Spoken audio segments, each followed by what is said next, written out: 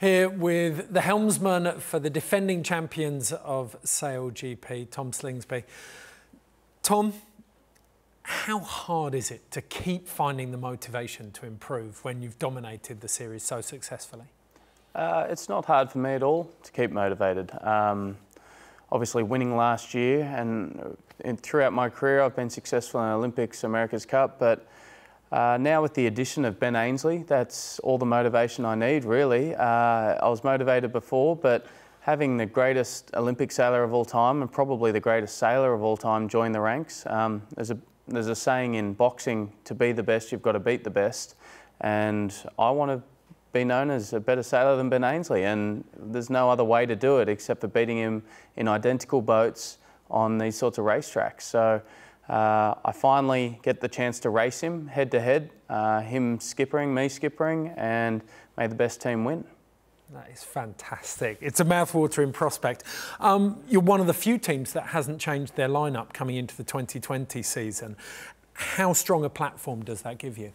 Uh, for sure, we I definitely considered changing. Um, there were a few ideas we had which we could have changed, but I think we just have so much we can improve as a squad. Uh, if I felt like we were a bit stagnant and not improving all the time, I would have changed. And especially hearing these other teams are, are changing lineups, like for sure, I d- I didn't want to rest on our laurels and think that because we won last year, we're going to win again. Uh, we need to keep improving, but I'm sure with this team, we can keep improving and we can keep the level really high. There's been a lot of talk about the fact that all of the data from every single boat is shared. So all of the other teams had access to the way you were setting the boat up, but still you dominated the field last year. What's the special ingredient that kept you out front? Um, look, the data is amazing, and if you can, you have to really go into it with set goals, what you want to get out of the data. For me, and I think our team in general, we prefer looking at the footage. Um, I can, with the way the other boats sail, if, if uh, Team Japan or Team GBR are attacking better than us, I can usually through sight figure out why they're doing that and how they're able to achieve that without going and number crunching. Um, so the data is important, but you've got to really know what you want to get out of it. For us to stay ahead, we do need to keep thinking of interesting, good ways uh, to stay ahead and be innovative. But they've closed the gap on us a lot in the off season. Uh, in the off season, we had a big lead um, at the end of last year, you could say. And uh, here we've done a few practice races in Sydney and it's not going our way. We're in the middle of the pack, fighting away, fourth, fifth position. Um, the overtaking lanes aren't there anymore. And so really now we're being put to the test. How can we find a way to get back to the front? Interesting you say that. If all of the boats are out there and they're all performing, who do you see as your biggest rivals? It, last year it was easy to point the finger at Japan and say, I'm up against Nathan, but mm. is, is it a much broader field now?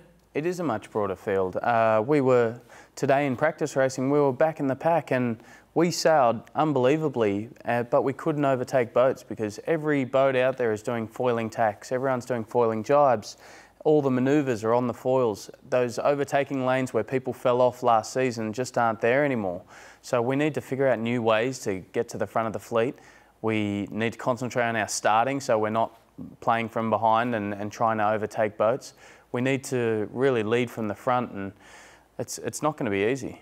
Through the middle of the season last year, it, it started to become clear that the ride height that you and Nathan were able to sustain was carrying you a lot further and a lot faster than most of the other boats. Do you feel like they've all caught up in that facet of sailing the F50?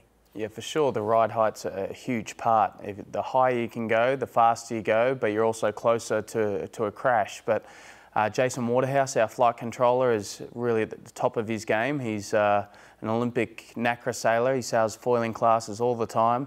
And then with Nathan's team, Luke Parkinson is known as one of the best in the business. And we did have an advantage, but I think all these other teams have spent a lot of time at the simulator in the off season and they've come back and they're all emulating what we, we were doing. So they're catching us for sure. It's, it's hard to keep your advantage, but we'll figure out a way. In the build up to season two, the addition of Ben Ainslie has had a lot of people saying that this is his championship to win. Does, does that rile you up?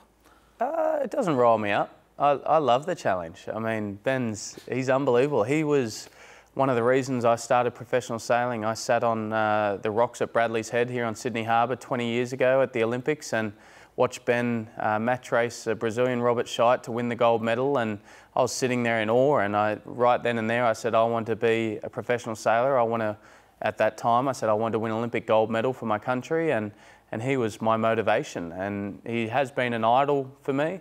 But as I said, if I want to be known as one of the best sailors of all time, I've got to beat these guys. And Nathan Outridge, uh, Ben Ainslie, these are two of the biggest names in sailing, and I get the opportunity to see what I've got up against them this year. That's a pretty magical prospect, going toe to toe with one of your heroes.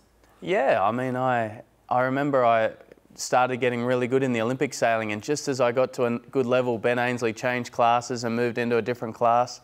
I I love the challenge of trying to compete against the best. And um, for me, it's not daunting at all. It's exciting. And the adrenaline rush when I'm looking across the line and see Ben Ainslie there, uh, that's great for me. I, I relish the challenge. Uh, okay, last question. You won the championship last year. Is anything less than victory going to be regarded as failure this year? Look, we, we hold um, ourselves in sort of high regard and we set the bar extremely high. We won four out of five events last year, but personally, I know how much I can improve as a, as a skipper. I know how much our crew can improve. Um, I want to win every event that we do. I want to win five out of five. I want to uh, win the match race finale. Uh, our team really wants to win everything, and so not really focusing on each event. We're just uh, on the whole event. We're going to focus on each event as it comes, and we're going to try to win every one. And if we can be in that match race every time and, and dominate the match race finals, uh, it's going to put us in good stead for the million dollar race and, and defending our title. Can't wait to watch you.